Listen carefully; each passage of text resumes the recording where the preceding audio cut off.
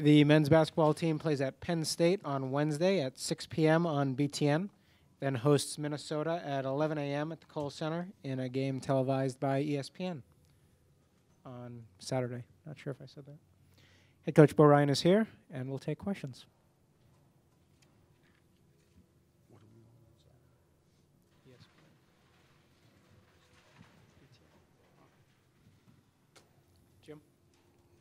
You guys have been really strong out of the gates the past three, four weeks in games. Um, I know every team tries to start strong. What's allowed you to do that? Is it do do credit experience, just guys being ready and knowing your message and, and being ready to go out there and execute? Yeah, I think you got to give credit to the players. They're, you know, you still you talk about games, you practice the sets of the other team, you run your stuff, you do your uh, due diligence as a coaching staff, but it's still the players that make it happen. Uh, you know, not every game we've gotten off to a a good start, but there's there's a lot of teams that get it done in games where maybe things were a little bit of a grind early and then figured out a way later. So it's still the end result. But I think with the seniors that we have, the guys, the experience they gained last year, you got to give credit to them. You've obviously coached for a lot of years. You've coached a lot of teams. You've coached against a lot of teams. How good is this team, do you feel like? Well, this team will make its statement by its uh, production for the whole season. You know, not any speculation during, before, uh, three quarters into it. Uh, teams are still judged by um, their overall accomplishments. Um, but they're a good team. They're a great bunch of young men that are playing hard together. Um, but there's been a lot of teams that I've watched over the decades have really good teams and then come tournament time, one bad game, one, and then people dismiss uh, their work. And I've always been anti that, which you guys know here. I still think it's uh, the- the process of our game with uh, the way the tournament is set up is you really have to be fortunate for at least six games. So when the season's over, people have their opinions of this team, but I sure enjoy working with them. Jeff, Bo, you, you mentioned the seniors, you know, tying it into the quick starts, but you got two sophomores in the lineup too, and Bronson and Nigel. Are they as playing as seasoned and with as much poise early as, as your seniors are? That it's contributing to that as well. Yeah, uh, they definitely are, and I think there's there's reasons. There there are definite reasons. The fact that we got uh, the legislation passed to where we could work with the players in the off season for a couple hours, not like we're driving them into the ground, and in the summer for a couple hours. Uh, we could do things with the drills to, to give them an idea so that when they're playing their pickup games in the summer, they're actually running our offense and actually defensively trying to do the things by word of mouth through the upperclassmen. So, um, you know, now Bill Raftery brought it up, and, and he knows how I've coached for a long time, is you do get your players to understand they can coach themselves. Um, and what he meant by that, and he because he he knows how I operate. Um, you know, there's always a chance for people with experience on a team to get messages across. I always mention the voice in the locker room, but it's also the voice out on the pickup games for basketball is really key. You know, you can't always do it in other sports, have pickup games like like our sport. Um, so if you're if you're experienced players, the ones that have had a chance to be in the program, aren't really getting anything until October 15th, like it used to be, then uh, it makes it harder.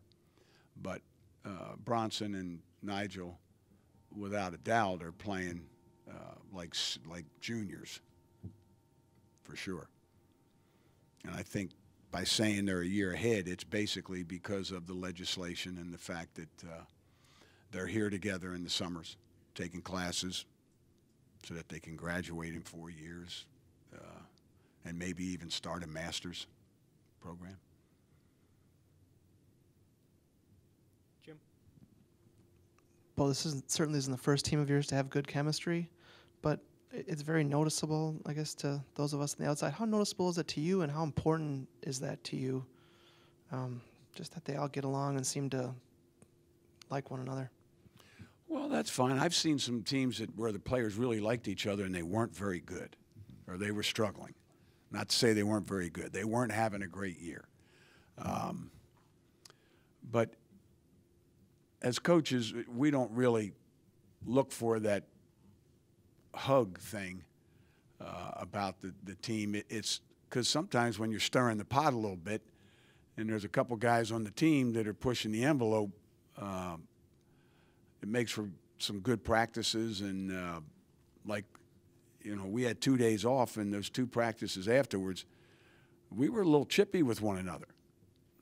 But not once they got to the locker room or anything else. But you know, there was some bodies banging and some things going on, and guys uh, expressing themselves a little bit under their breath.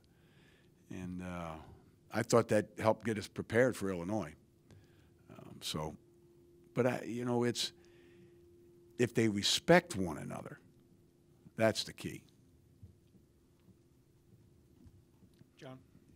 Not sure how much time you're able to devote to watching the entire landscape of college basketball, but is Frank as deserving as anybody else for National Player of the Year consideration at this point of the year?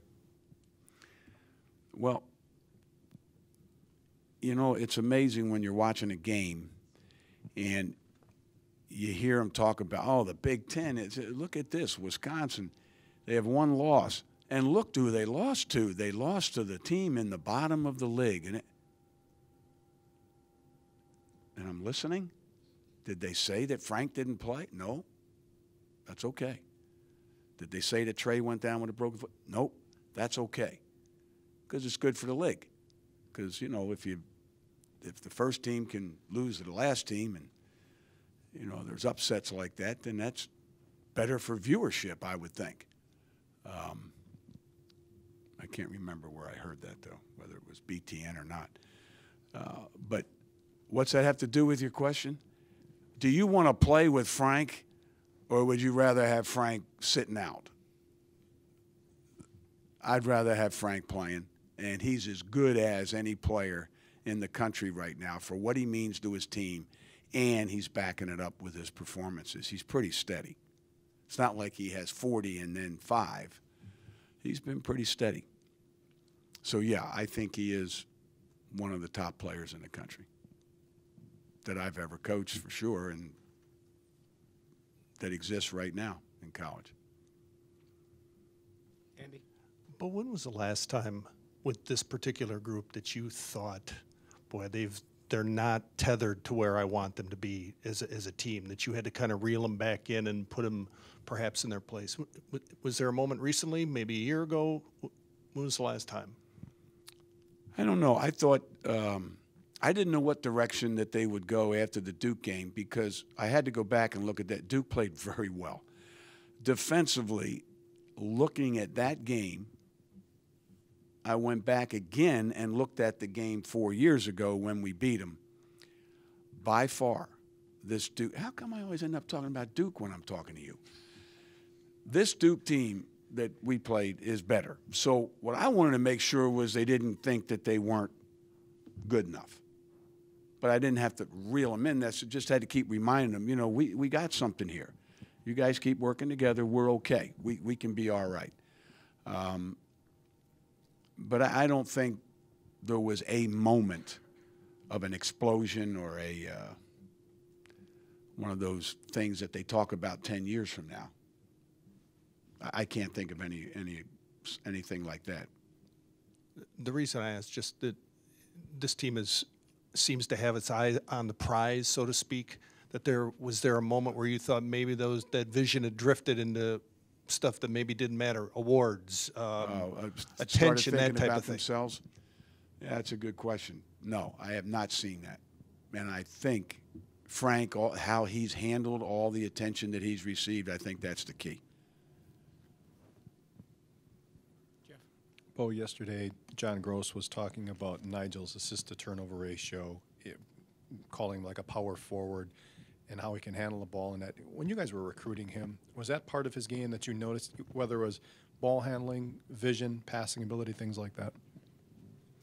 Well, you know, Nigel, first of all, when you look at him physically, you're going to say, we need to get him.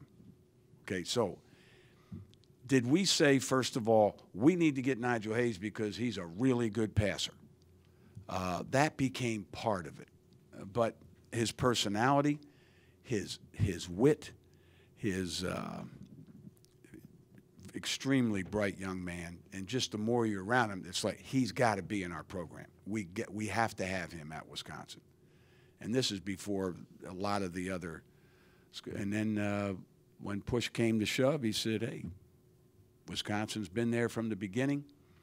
Um, Coach Paris did a heck of a job. The parents liked us, and he became a Badger, even though he received some pressure from other places." Um, but you say a power forward, he's like a point forward. Point forward meaning, uh, uh, yeah. Um, Nellie, when he called, uh, help me out here, the forward, point forward. Moncrief or uh, Pierce or I'm not sure. But he's a he's a point forward. Paul Pressey, maybe? Yeah. Wait, aren't, you a hockey guy? I think I think it was Pressey. Uh, after uh, Penn State's loss, I believe it was yesterday, uh, Coach Chambers had some words about the officials and the calls and feeling that certain coaches, certain programs might not be getting the benefit of calls, while other coaches and other programs were getting those. I wondered if you thought, when you, especially when you first started out here with the Badger program, whether you thought that existed against in your favor, and you might be on the other side of that now as a coach.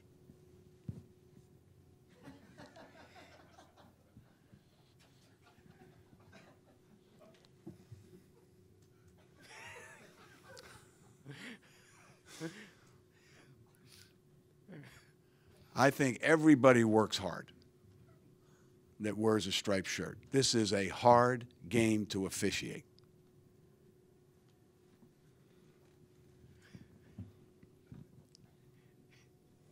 Jim. I don't know how you follow that.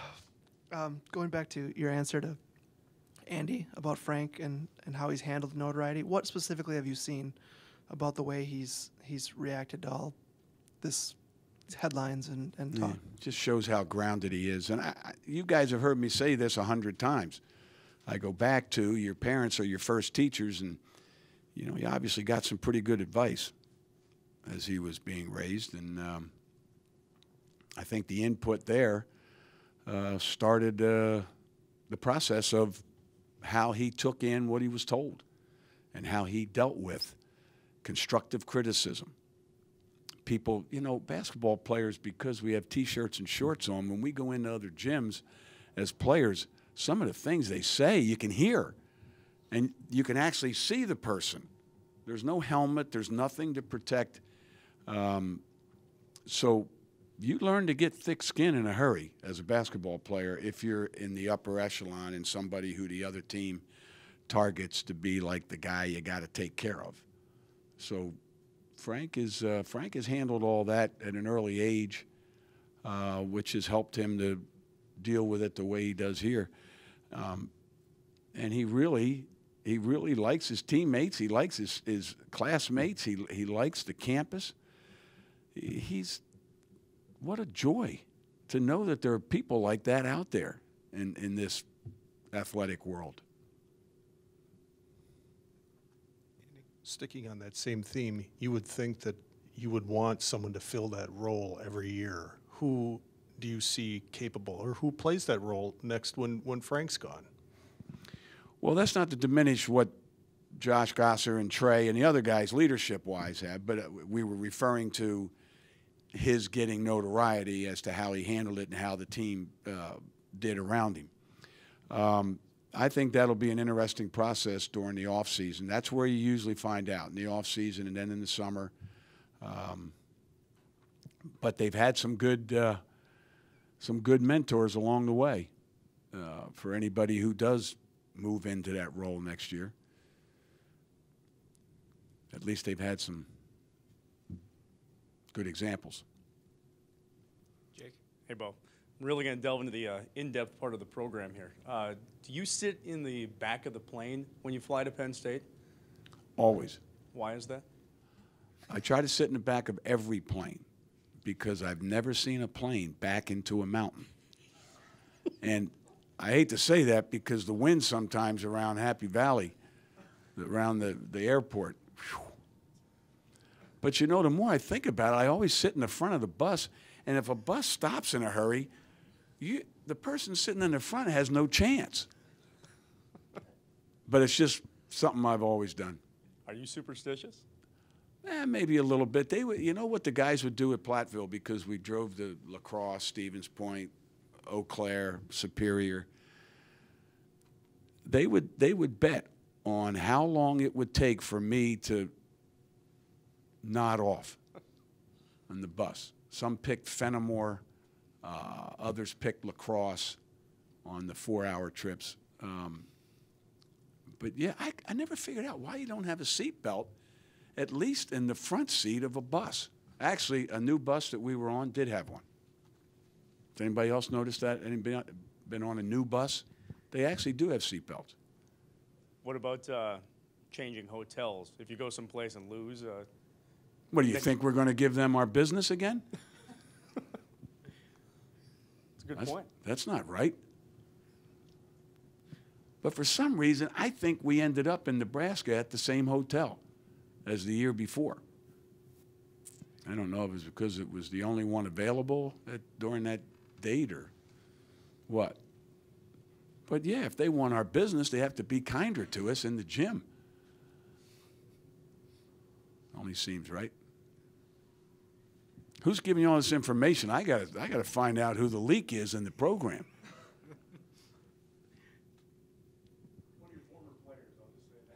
Oh, former player. Okay. I got You, you. you did put the seatbelt on? Is that what you're saying? But it was only to go to the airport, so I no, I didn't, because it just didn't seem right. Uh, we didn't get up to speeds. It- you know, it went from the Kohl Center to the airport, and the most was 35, 35 miles an hour. So I figured I could survive that one. Uh, I lost my train of thought. Sorry.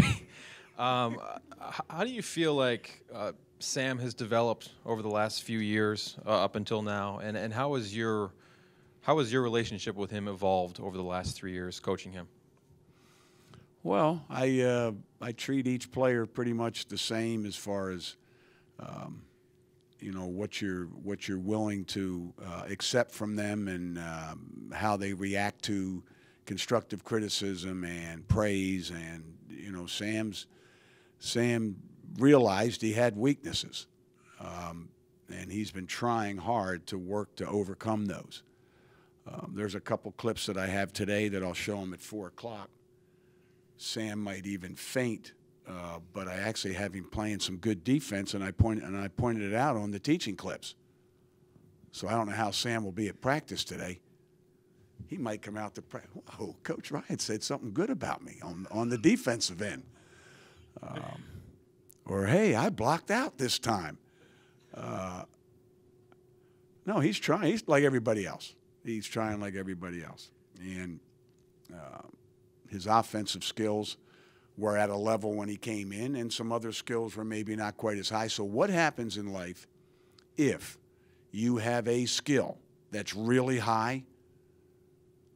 Let's say somebody has hair that's they that is used in shampoo commercials. It's so thick, and let, well then what people tend to think is that the rest of the person's got to be pretty good then, but they might have, you know, a little uh, rough skin or something like, and then it doesn't go together. So, so Sam had the, you know, had the good hair, but some other things needed to be uh, taken care of, worked on.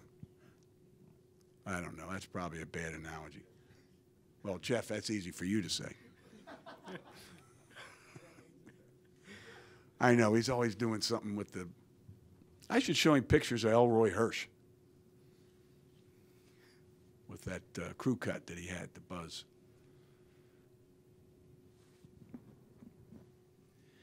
You said that he would. You, you, indicated that he would kind of be surprised that you would show something good.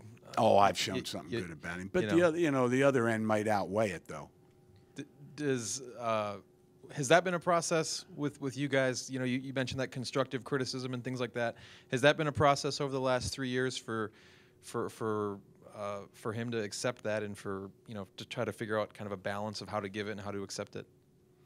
Well, he seems to be listening, but you know, transmit has always been on. Receiving is up to the student.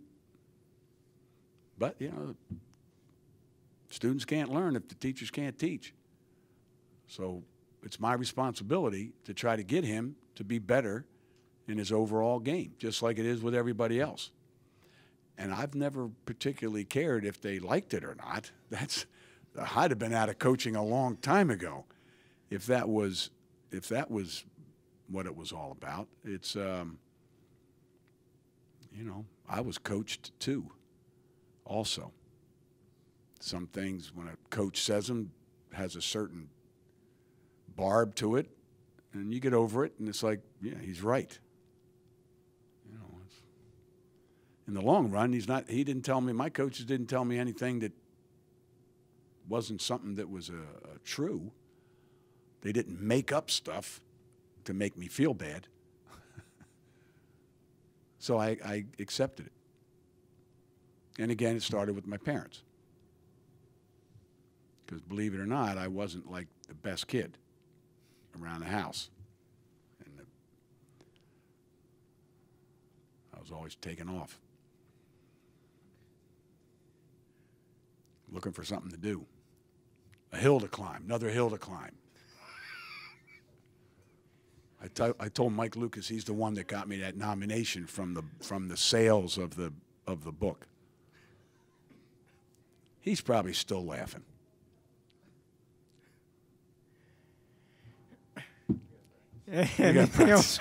Or no, wait a minute, it's ten after because Duje had a class, so we moved.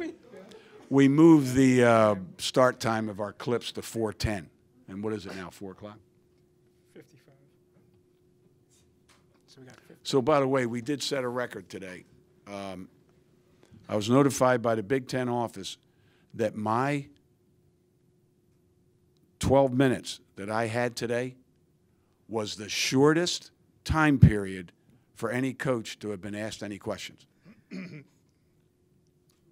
the, Big Ten, the Big Ten sent me that memo.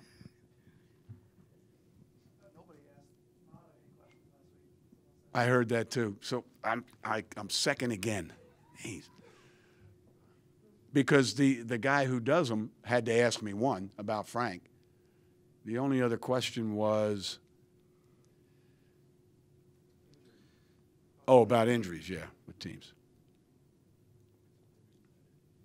Bo, Bo, your choice between if you had to sit on a plane next to one uh, color commentator, would it be Dan Dakich or would it be Bill Walton, and why?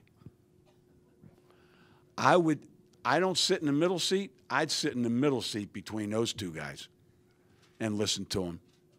I mean, Dan is very sure of himself, uh, coaches the game as it goes along, and that's what they're looking for with a lot of these. The, how competitive that market has become, Andy, with the Big Ten Network, SEC, ACC. Everybody's pushing their leg. They get their pep talks behind closed doors of, and like talk about coaching a little bit. Talk about what you might have done here, or that's that's encouraged now, way more than before. Um, and Bill Walton will talk about the walrus, and but he'll also say some things that he said to our players at that practice where he's spot on about his respect for his coach how things were done when he played and that he might have bucked the system a little bit at first. But when he realized that Coach Wooden had his best interests at heart, Bill Walton was hooked on doing what he was supposed to do. Um, you know, and Dan's coached. Dan played. He played for Bobby, uh, Coach Knight. And uh, you can imagine the experiences that he's had.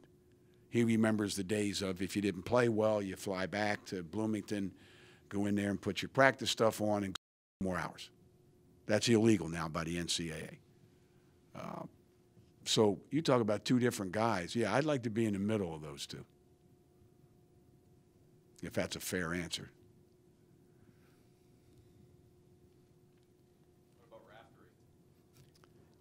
Uh, He's he's a guy that you would go to the corner establishment with and have the greatest five or six hours you could ever think of. His stories, his his demeanor, his perception of things. He, he's to me, he's one of the guys like you know neighborhood guy. And I played against him, so he can continue to tell the story of he came to Wilkes with his team. The gym is packed. You can't get another body in the gym. Of course, the wrestling mat's down, and Wilkes was a powerhouse in wrestling. It's packed. Well, the wrestling match was over, and so we go up to the locker room, get changed. We come out. There were 112. Reason I know we counted them. There were 112 people that stayed for the basketball game. My freshman year, and I looked at my buddy from Chester that went with me, and we looked at each other after playing at Chester High, where there was never an empty seat at the, on the road or at home, and we're playing in college in front of 112 people at home, and it was his team we were playing against, Raftery's team. So he always gets that needle in.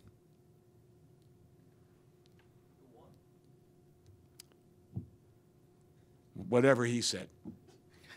I can't remember. We were not very good. We, uh, my, my teammate and I from high school started as freshmen. So what does that tell you? Because if we went to I was, if it was Temple or Rutgers, wherever I was going to go, you couldn't play as freshmen then. But at a small college, you could. Little sideline. Anything else for Coach? All right. Thanks. Thank you.